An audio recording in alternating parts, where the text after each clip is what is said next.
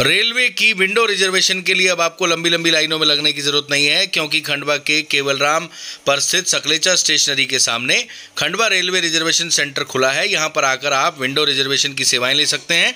अधिक जानकारी के लिए दिए गए नंबर पर संपर्क कर सकते हैं और मौके पर जाकर, दुकान पर जाकर टिकट भी बनवा सकते हैं। श्री दादाजी धोनी वाले आश्रम में बड़े दादाजी श्री केशवानंद महाराज की बरसी पर कल गुरुवार को बहुत ही उत्साह देखने को मिला। सुबह से रात तक लगभग चालीस हज़ार से अधिक श्रद्धालुओं ने बड़े और छोटे दादाजी की समाधि के साथ ही माँ नर्मदा के दर्शन कर धोनी माई में हवन किया। दर्शन के लिए दिल्ली, छिंदवाड़ा, नागपुर, बैतूल, सागर, पांडुरना, अहमदाबाद, पुणे, जलगांव, अमरावती सहित अन्य क्षेत्रों के श्रद्धालु आए।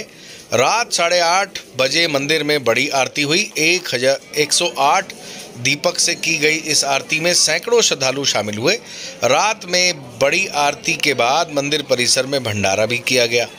इसमें सैकड़ों लोगों ने प्रसादी ग्रहण की।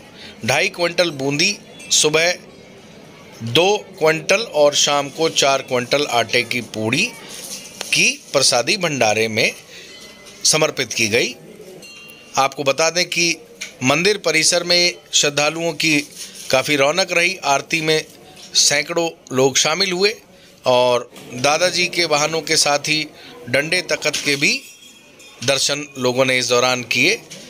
सुभाष नागोरी ट्रस्टी श्री धोनी वाले दादाजी आश्रम ने बताया कि सुबह से रात तक करीब चालीस हज़ार श्रद्धालुओं ने दादाजी मंदिर में दर्शन किए।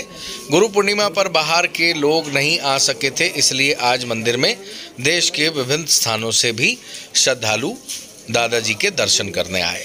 कल बहुत ही शानदार माहौल दादाजी मंदिर में देखने को मिला।